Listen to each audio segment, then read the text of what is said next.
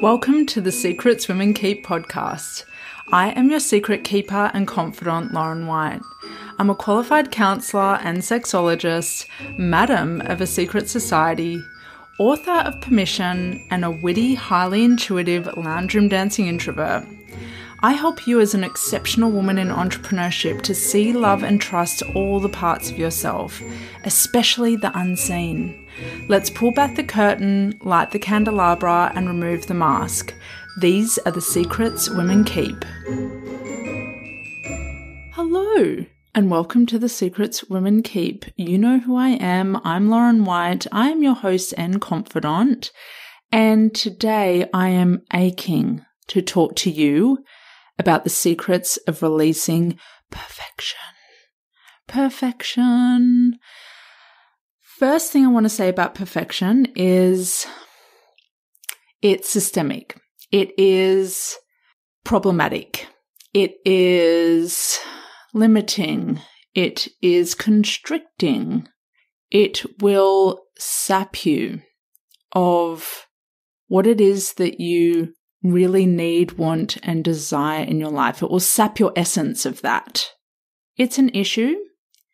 It is something that I would love to see more women move through. And I believe the first way that we do that is by reconceptualizing perfection as a mask. I call it the mask of perfection. What the mask of perfection means is that you put it on or you step into this role of perfection or what you perfect, what you think perfection is. And you do that because the driving belief is that you feel like you're not enough. You think you're not enough. You believe you're not enough.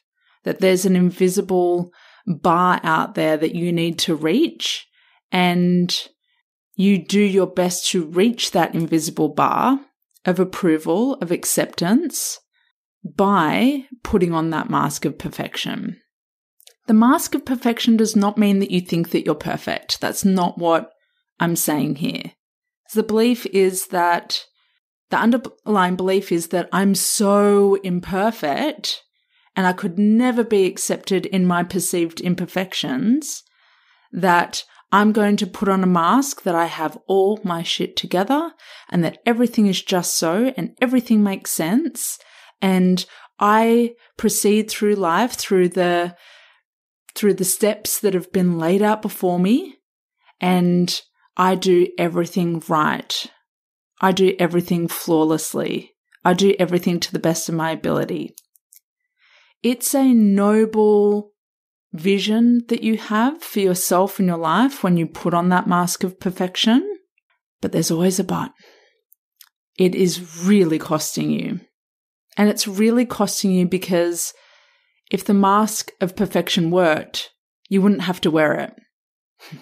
You would never have to put that mask on. You would just be perfect all the time. You would just authentically be perfect and you wouldn't have to put it on and take it off and put it on and take it off. It's problematic because it's holding you back from all the things you really want.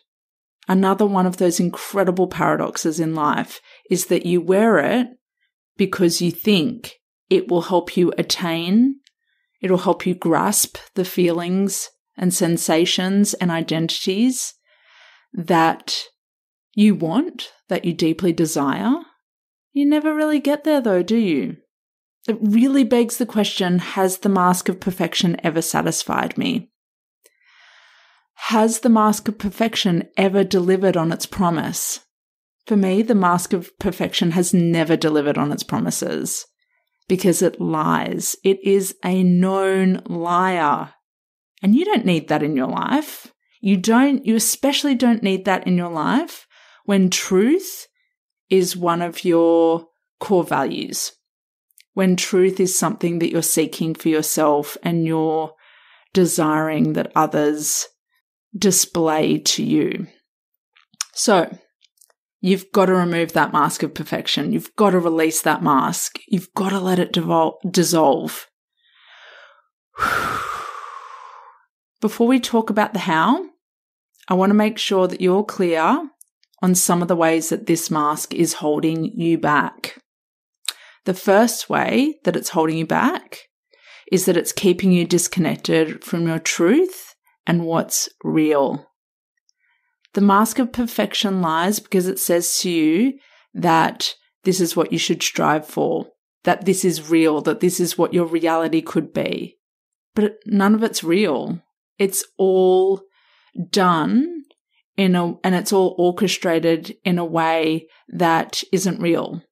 Every action you take striving for perfection is constricting and it's prefabricated and it's prearranged. So there's no flow. That's why life doesn't flow when you're in that mask of perfection because you're spending so much time in your head trying to strategize how things will look to other people, how, um, how like neat everything can be, how tight everything can be. And the truth is about life is life is messy. Life waxes and wanes. What I don't like about perfection is it thinks that life is a straight line and that life is linear and that when you do one thing, you should get from point A to point B straight away. And it's a trap. So it's holding you, that mask is holding you back from your truth. And we don't want that. The second thing that mask is doing is it's keeping you anxious and stressed. It's keeping you up in your busy mind going, how can I do this better? How can this look better to other people? How can this sound better? What is it that they want to see? What is it that will like get me closer to that goal or that accomplishment so that this other thing happens? You are constantly in quasi survival mode, always looking forward, forward, forward, forward. So your body isn't in the present, your soul isn't in the present, your essence is, God knows where your actual essence is. It's locked deep down inside because there's no playfulness or fun or, you know, little sprinkles of spontaneity or a bit of messiness. It's all so like fabricated. It's like IKEA furniture. Like there's a there's a box with all the pieces in it, and you just put everything together, and you go right. That's just so next one. That's not real, and it's keeping you stressed because you're constantly in doing mode and denying your true feelings, denying the whispers of your heart, ah, denying some of the sensations that life has to offer when you pause and you look around and you just drink things in rather than getting caught up in the next thing. So your nervous system wants to remove the mask of perfection because it's wearing it out. That mask of perfection also constantly has you feeling not enough. You're always falling short. The bar always goes higher. You're never fulfilled. You're never satisfied. You, you're never tapping into those things that you really, really want to feel not living your life and feeling not enough is such a waste of all your beautiful libidinous energy. It's a waste of your vitality. Feeling not enough, the twist about feeling not enough, I'll give you a little, a little tip while we're in here talking about the ways that perfection holds you back is that when you start to step into your more and what feels extra, and what feels excessive, when you start to step into that, you'll stop feeling not enough. Oh, I love that one. That's my truth. I own my more and then I stop feeling not enough because I start feeling full.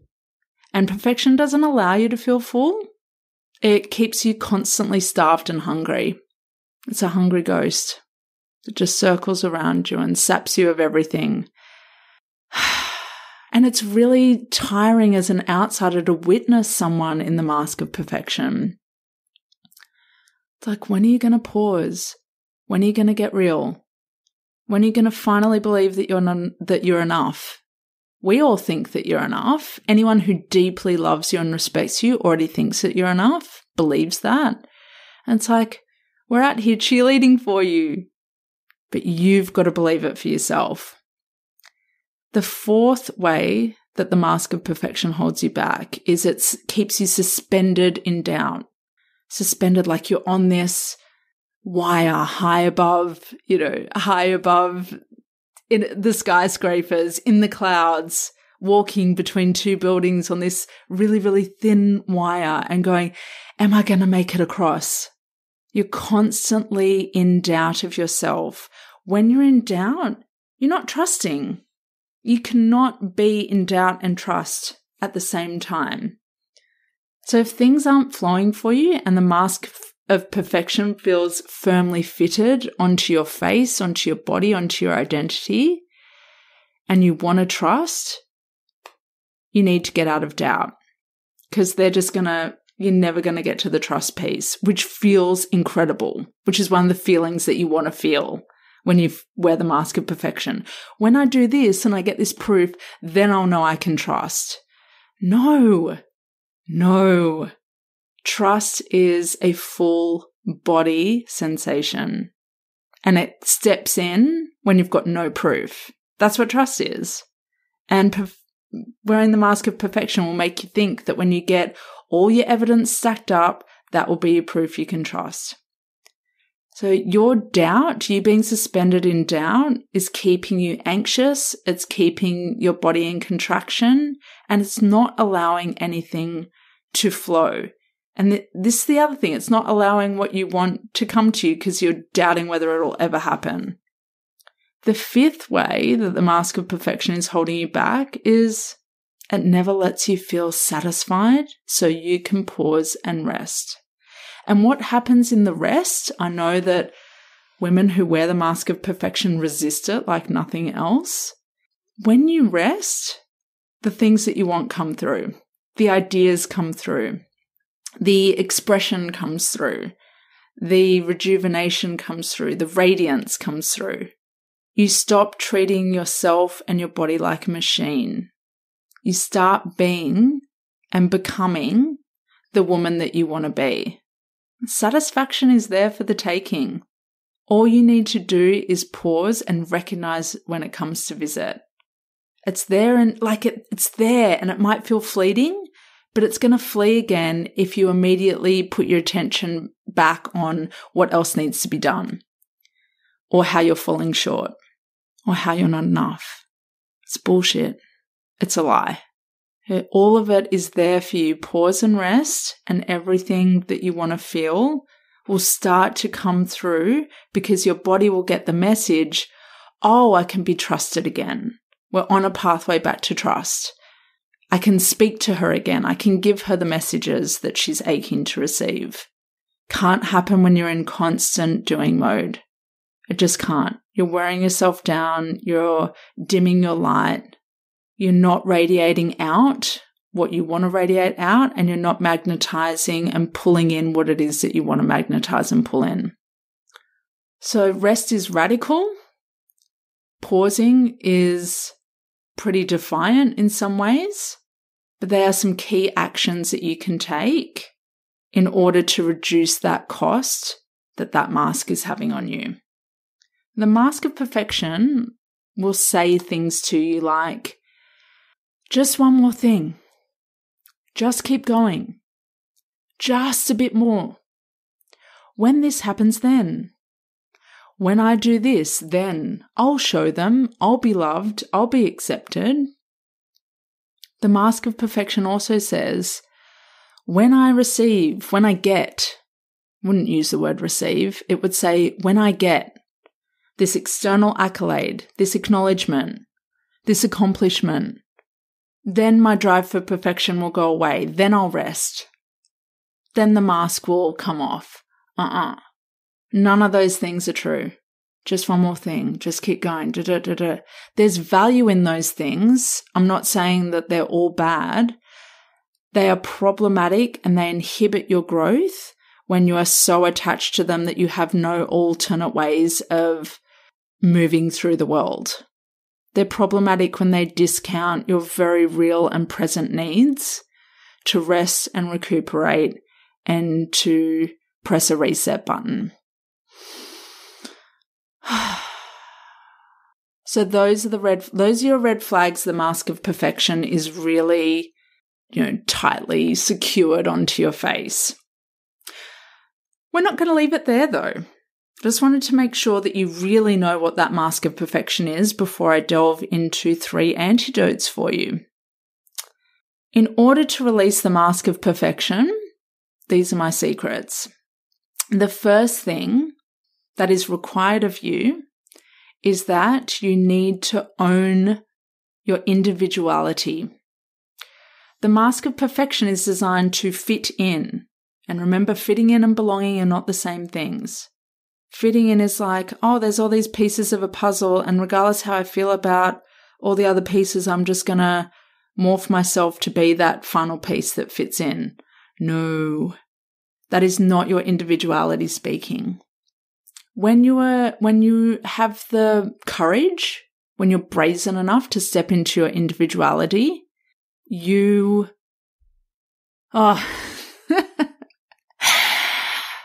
that word release is really powerful. You release so much dogma, so many shoulds, so many preconceived notions of what you should be and how you should be seen and how you should morph yourself. You are an individual. You are one in eight billion. And individual making yourself distinct enough to be an individual is a very rebellious act that suffocates that mask of perfection. It doesn't it doesn't know what to do. So I really want you to think about how can you start being more of an individual in your expression, in your preferences, in how you move, in what you wear, in every sense of the word, in every facet of your life. Where can you stop going? Oh, in this moment, um, I'll do what looks perfect or what other people will, will perceive to be perfect and say, in this moment, what can I do that's going to feel good? What can I do that's going to honor me and the exact state I'm in right now? Ownership is everything and it will boost your energy in a way that perfection can never boost and turbocharge your energy. The second antidote required to help you release that mask of perfection is to anchor into your current reality perfection is very ever forward.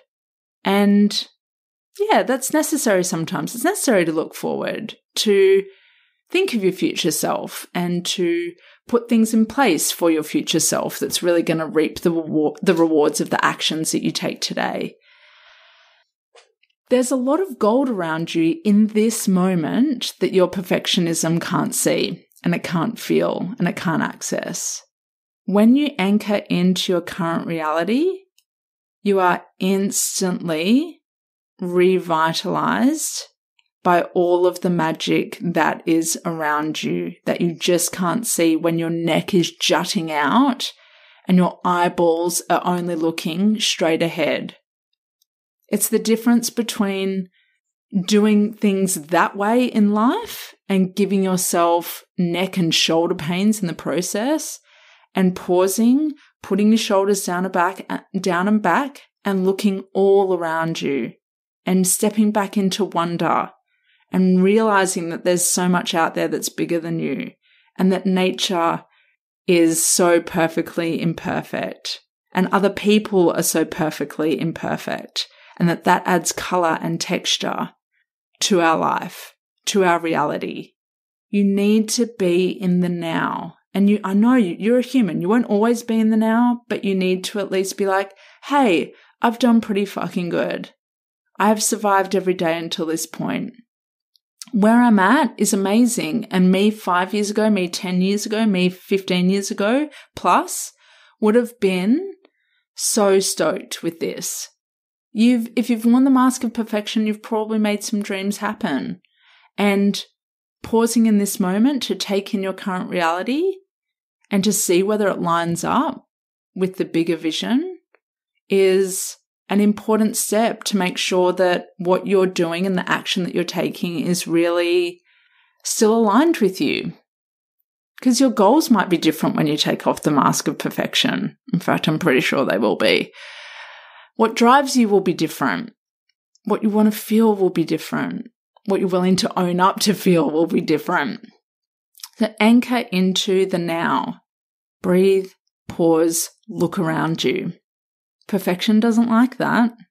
So give it a little kick up the ass and say, you can fuck off just for a moment. you can get playful with it, by the way. It doesn't all have to be hard and serious. The last antidote required for you to release that mask is acceptance. Accept yourself. Accept yourself as you are right now. Every cell of you, every part of you, every hair on your head. Accept. This is your life. This is your body. This is your lifetime. This is what you have. This is what you stand for. Really, really come into a state of acceptance because perfection and the mask of perfection is always running from acceptance. It's always doing the complete opposite of acceptance. It's like, I can't accept this because it's not enough. So I'm going to move to the next thing and then I'll feel acceptance, belonging, all the things we, I mentioned earlier. Uh, again, it's a real, it sounds simple, but the simple things perfection doesn't like. Perfection wants complexity. It wants things to be way harder than they are because then it's got a challenge and then it doesn't have to face up to everything it's shit scared about. Accepting who you are right now is an incredibly powerful action. You can't be anyone else right now. You can't step into someone else's body or life. So own it, rock it, make the most of what you have rather than being in the not enough and focusing on what's what's not enough.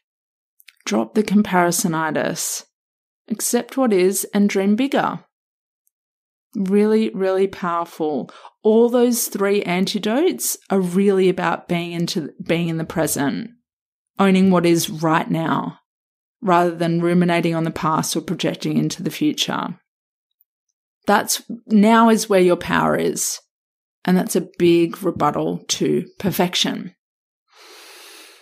Ah, and if all else fails, just get out your journal and write in big fat fucking letters, fuck perfection. Seriously, fuck it. What has it ever given you? What has it ever given you? Uh, it just, it hasn't delivered on its promises for me. And I want that message to get out there for other women. Yeah, be expressive, shift, change, evolve, change your mind. Yeah, do all those things that feel good. Now, I've got something for you to help you release the mask of perfection. It's time limited. It is about dancing and moving and being in your body. And it is the express yourself experience. I believe deep down in my loins that one of the big antidotes to releasing perfection is by coming into your body in a very present, very real, very intuitive way. Dance has always been a part of my medicine and it shocks me how many women message me and say that they don't dance and that, or that they can't dance or that they won't let themselves dance. When you step into your body's free rein movement, the mask of perfection cannot exist. It withers away. It's like I cannot still be on, firmly fixed, when she is in her fullest expression when she is experiencing herself and all of her sensations and all of what her body wants to do in the present moment. Her you, me, and a group of women dancing for 10 days. Oh, so good. Every day we're going to dance and release the different masks that are holding you back. And I am beyond excited. There is so much medicine in this. And I want you to say yes. I want you to start to dance and move and really give the middle finger to perfection. Yeah. Yes. There'll be lots of yeses. Okay. I can't wait to see you, all of you, in the Express Yourself experience. It's going to be beautiful. It's going to be magic. Going to be magical. And I have a feeling that we are going to be stomping on a lot of Masters of Perfection collectively. How powerful is that going to be?